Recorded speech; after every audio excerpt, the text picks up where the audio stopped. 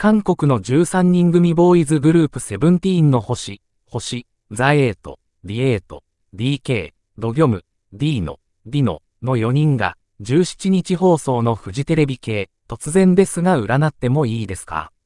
月曜午後11時15分に出演することが10日に分かった。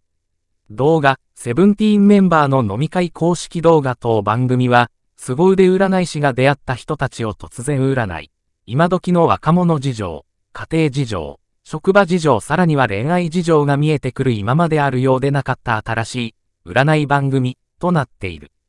今回出演するディーノは、毎年、年末に趣味で占いに行ったりしている。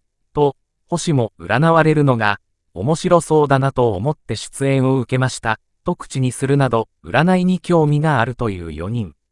4人を占うのは、星瞳、生年月日、生命判断、血液型、元相、手相など様々な要素を混ぜ合わせた雨星術で占っていく。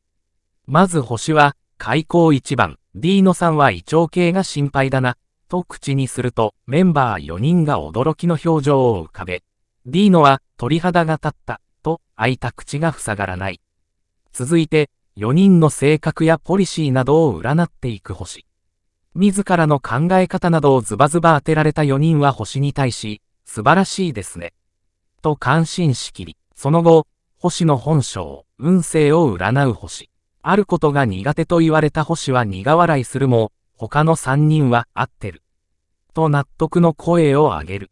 続いては、D の、星に性格や体の状態などを占われ、ズバリ当てられ、その通りです。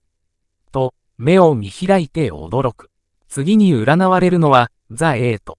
ある仕事が向いていると言われたザ・エイトは、いつか機会があればやってみたいです。と冷静に回答。ただ一人、占いをクールに受け入れるザ・エイトに対し、星があるワンポイントアドバイスをする。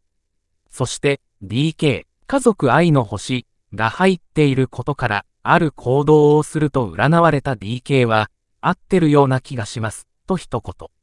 最後に、星に、他に聞きたいことはありますか？